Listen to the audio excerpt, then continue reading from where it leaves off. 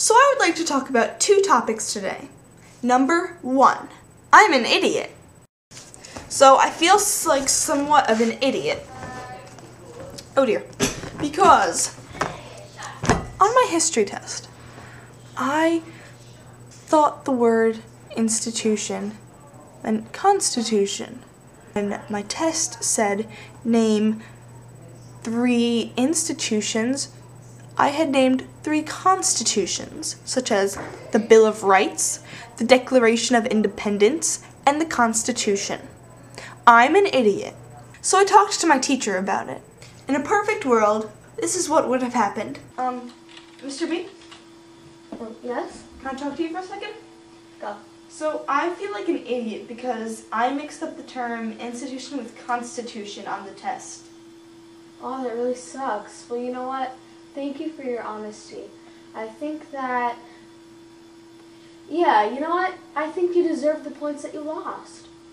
And I think for your honesty, you should get extra credit. Don't you think? Uh, yeah. Yeah, so let me just put it in my book and you'll get 10 points higher. All right. All right. Thank you. But this is what really happened. Uh, Mr. B, Mm-hmm. um, can I talk to you for a second? Yeah, sure. What's up? Um, I feel like an idiot because I mixed up the word institution with constitution on the test. well, I guess you really are an idiot. Tough mistake. I'm sorry. Bottom line, I got an 89, which is a great grade. But the idiot factor kept it from being a 94. Number two, gum chewing.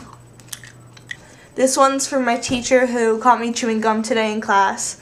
Um, I'm really sorry. Um, you know, I shouldn't have been chewing gum in class. It's really bad for your teeth.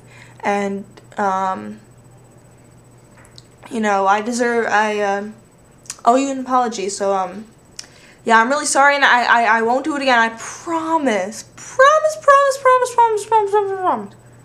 I promise. And by the way,